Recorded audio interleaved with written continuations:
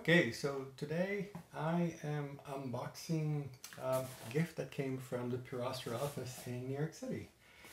And I'm really excited about this because this is the new um, shoulder rest from Pure And if anybody's ever used the Korfker rest, well, this is the new version of that, the Luna.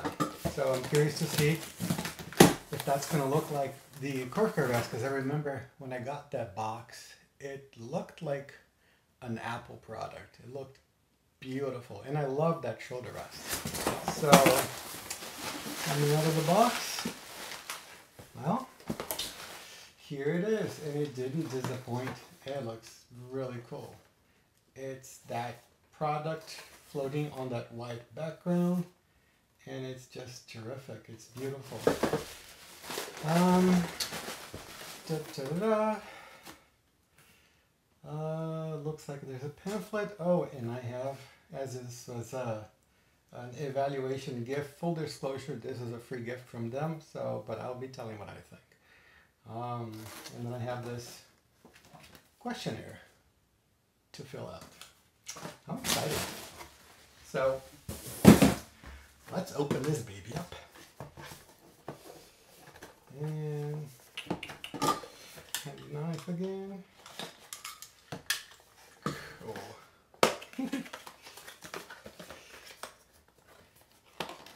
Out it comes. It looks beautiful. It slides out there. It's like sitting there.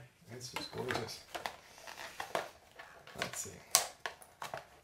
Yeah, kind of reminds me of the package that the uh, the Apple cables come in.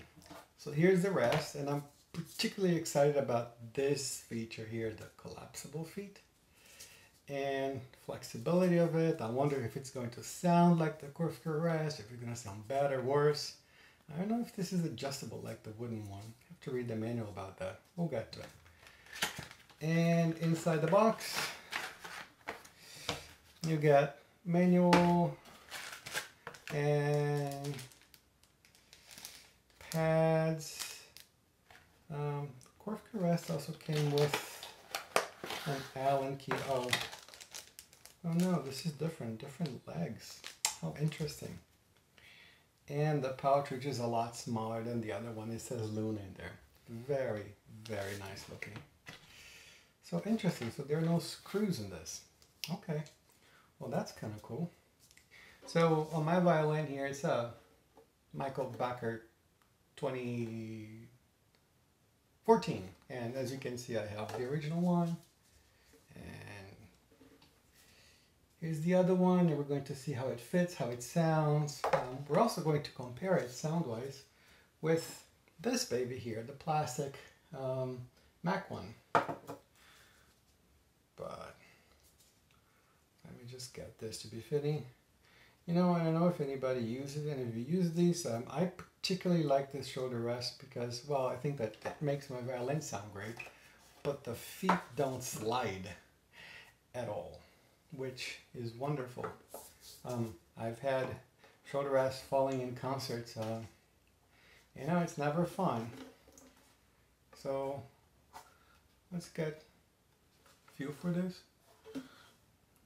Oh, it's actually kind of cool. Um, interesting. I might actually. Nah, too soon to tell.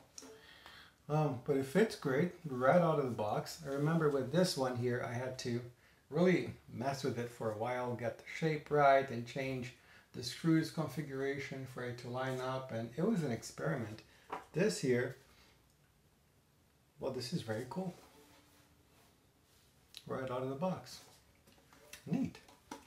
Um, before I play something for us to see if and how that changes the sound of the violin, I, um, I'm going to get my trusty uh, espresso uh, scale here. It's in a, a Acaia Lunar, and I want to weigh them because, you know, anything makes a big difference. So let's start with the original Korfker rest, and that comes in at 31.8 grams. 31.8 grams. The uh, Mach 1 plastic comes in at 53 grams. So 31 change, 53 is a lot heavier. Oh, this is going to be a lot lighter. Let's see. 32.6. Well, that's very exciting. So this is lighter than this one. That's remarkable. So fun. All right. So the next thing I want to do is to just play something real quick on all these three and see, you know, you know this is my office, a small room, and I don't know if it's going to make a big difference in sound. Ideally would be in a very large room, but let's see. And then you can comment below and tell me if it makes a difference or not. So, um,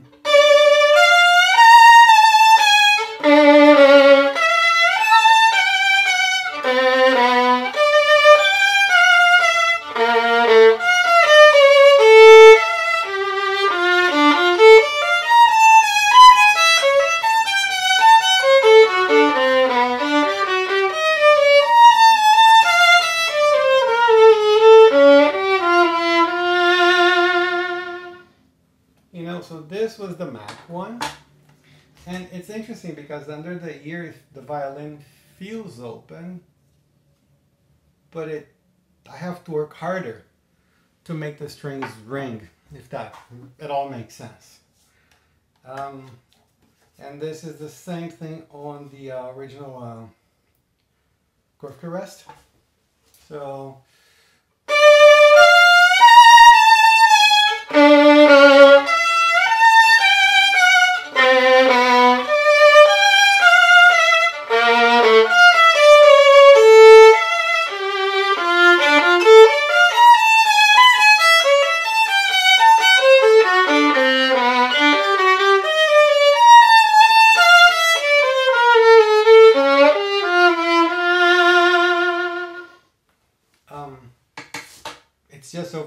comfortable. It's easier. The violin just I don't have to work so hard, and under the ear is much more resonant. Now, this baby here. Let's see how that goes. This is very cool.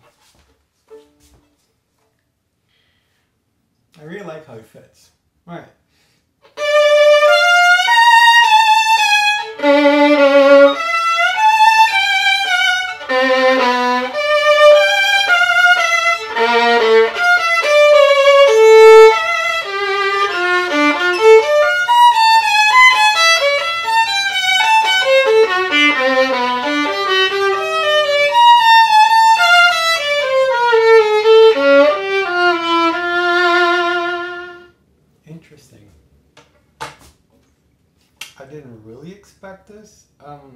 Under the ear, I get a just a richer sound, more resonant, more complex, more layered sound than with any of those two.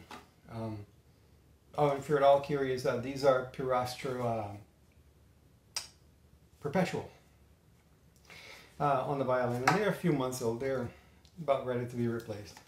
But um, that was really cool. Um, curious now to watch the video myself and listen to the difference. So tell me what you think. Comment below. And, um,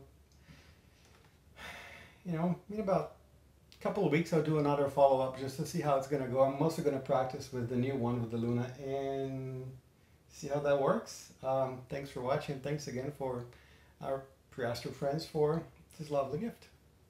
Talk to you later.